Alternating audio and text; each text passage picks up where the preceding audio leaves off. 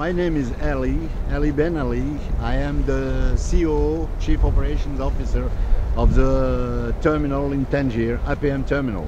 My job is to coordinate the action between the technical and the operational department. Uh, first of all, I should uh, say that we decided to test this uh, ATT in our terminal because of the philosophy of uh, construction of this, uh, I should say, trucks because there is no other name to name that. But in reality, it's just an equipment, port equipment.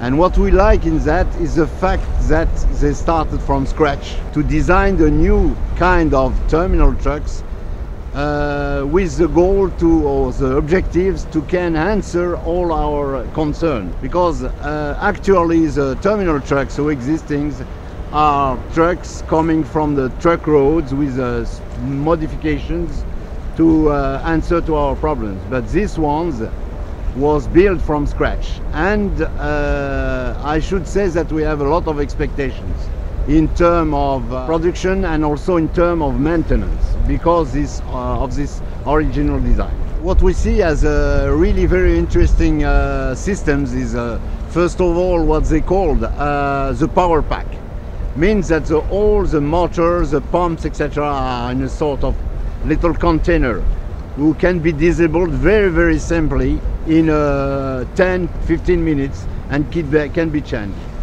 Operationally that is very very interesting because that means that when I have a problem with one of our trucks I can in 15 20 minutes replace the power pack and this truck is new on new able to go and to maintain the operation.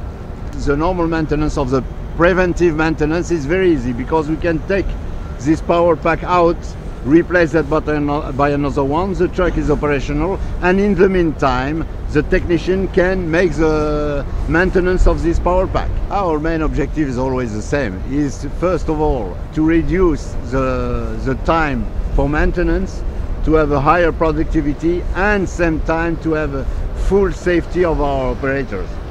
And we think that we can find these three parameters in this new attitude that's why we decided to go for.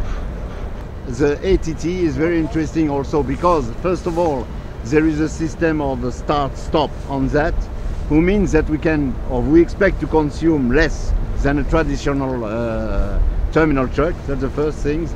Second thing very interesting is the fact that uh, this concept allowed us, for example, to have all the data automatically loaded wireless that means that we can follow up these trucks on real time.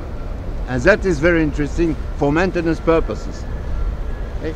Other things very interesting is because of his design, we can add a lot of automatic system. For example, now we are with the engineers of uh, Gaussin, we are developing a system to have automatic positioning of this truck under the crane. And that can be also very interesting because that means that can, we can win a lot of time, means more productivity.